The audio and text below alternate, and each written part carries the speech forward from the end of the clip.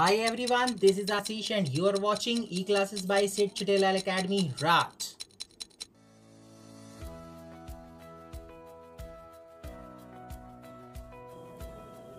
Hello everyone, now we are coming here for 19th number question. The three co-terminus edges of a cuboid are 36, 75 and 80 centimeter respectively.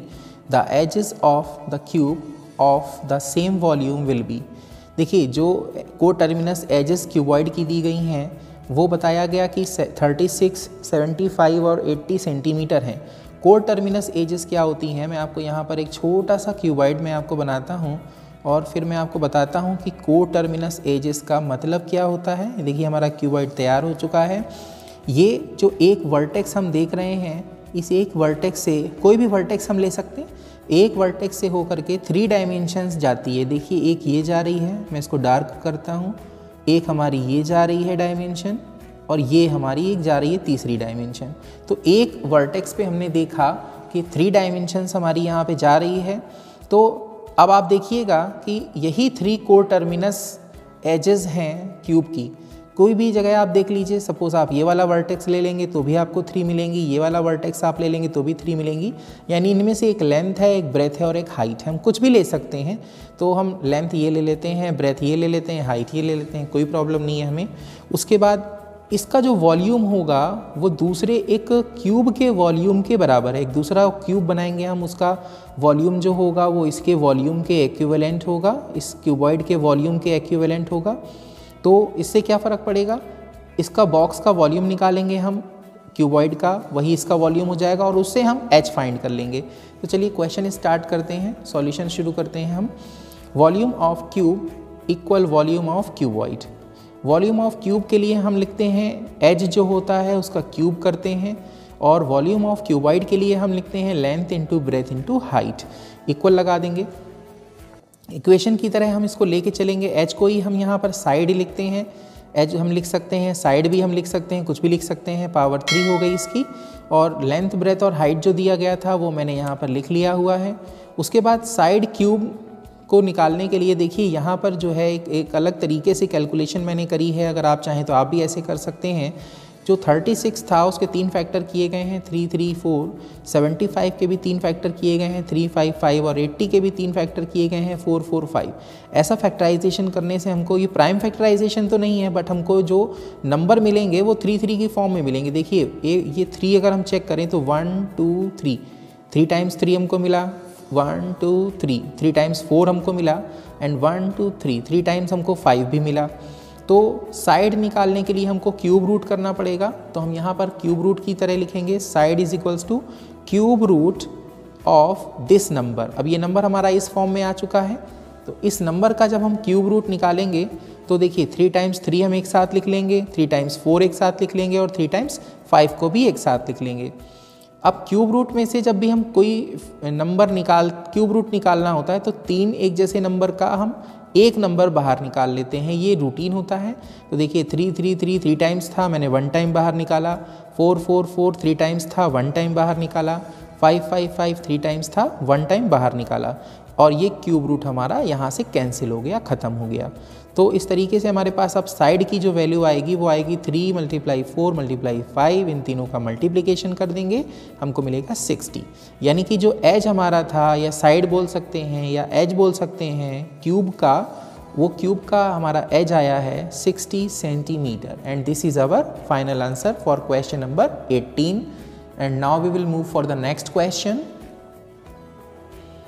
अब हम अपने question number 20 पे आ चुके हैं, इसको ध्यान से देखिएगा। The volume of a cube is 729 centimetre cube then its surface area will be तो कोई क्यूब है, उसी क्यूब का हमको वॉल्यूम गिवन है, और उसी क्यूब का हमको सरफेस एरिया सरफेस एरिया से आप कंफ्यूज नहीं होइएगा, ये टोटल सरफेस एरिया होता है। क्योंकि जब भी लेटरल सरफेस एरिया पूछा जाएगा तो डेफिनेटली उसमें लेटरल वर्ड जुड़ा हुआ होगा।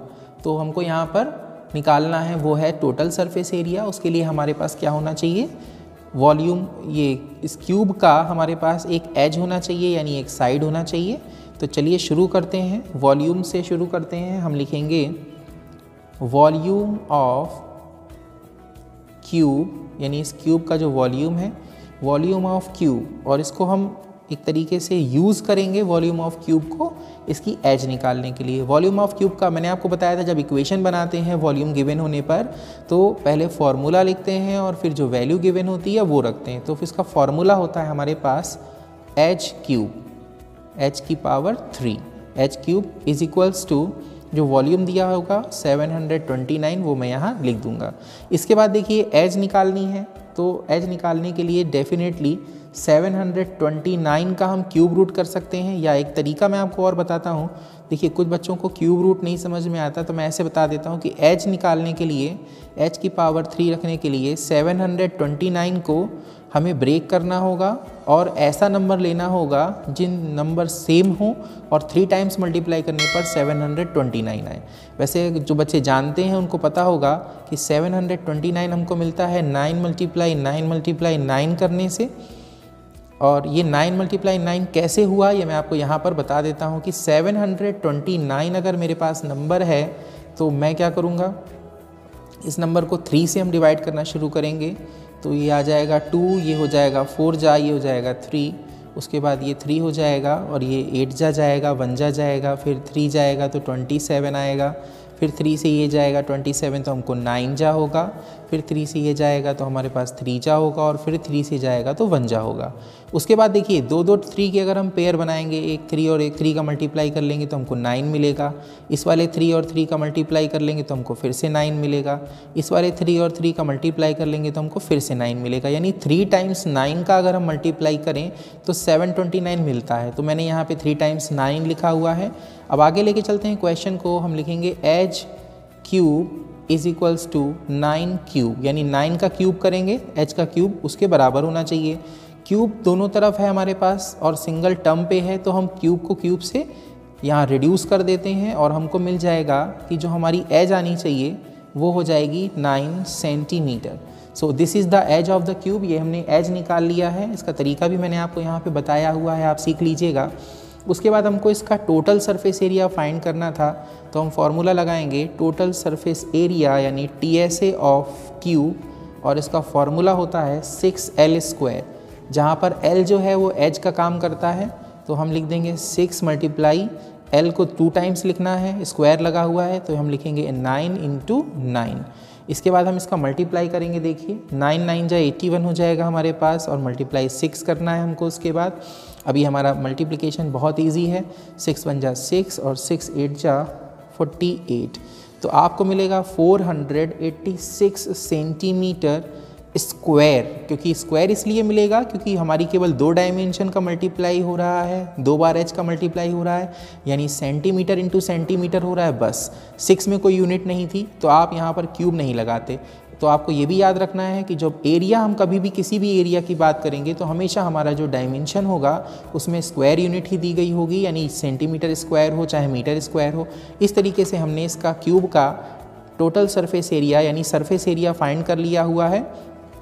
तो ये हमारा 486 सेंटीमीटर स्क्वायर फाइनल आंसर हुआ। तो इस तरीके से हमने ये नेक्स्ट एक्सरसाइज भी फिनिश कर ली है।